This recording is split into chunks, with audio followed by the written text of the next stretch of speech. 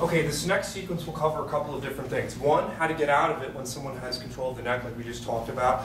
And the, uh, the move is one of the first moves I learned. I learned this at BJ, uh, Baltimore BJJ. I have read that it's called the reverse sumi goshi. And then we'll talk about a couple ways to finish uh, from there.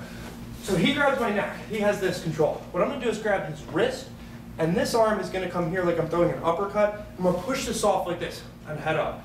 From here, there are a couple different ways you can finish this. If they have a gi on, I like to grab the seam and take all the slack out like this, and then pull it across, reach around and grab the back. Okay, now, I'm gonna hook behind his knee. What I like to do is hop forward and sit down.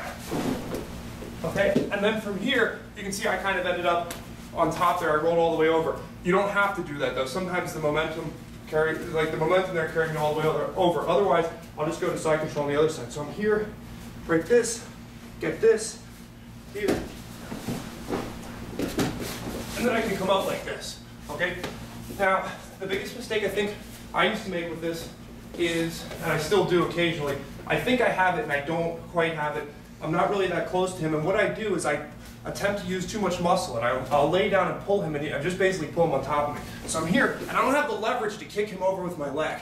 So what I need to do is really get underneath of him so that when he falls, he'll be falling over me. Okay, so one more time, please. We're here like this. Grab here, get this off, grab here. By the way, I like I use this in no-gi too because you just grab the wrist here. So we're here. I think that one of the keys is to getting close to them so, so you don't have to kick them over with the leg. Four, sit down, come over. Okay, thank you, sir. So it looks like I'm using the leg to kick him over, but it's actually, that might help a little bit, but the leverage and the principle of getting really underneath them is what's pulling him down there. Thank you.